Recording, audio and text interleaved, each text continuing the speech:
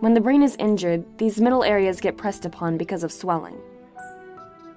The middle sections of the brain are also resting on the bone of the skull. Because of forward and backward movement of the brain in an accident, they get sheared